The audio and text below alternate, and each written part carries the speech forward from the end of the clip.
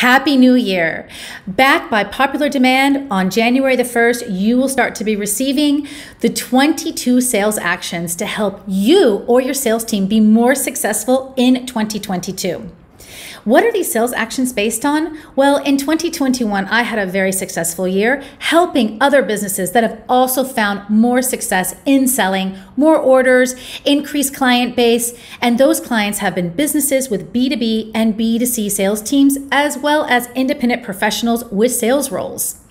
So I have collated the learnings that I have shared with them in training days and in working together into 22 sales actions. So what should you be doing with these actions?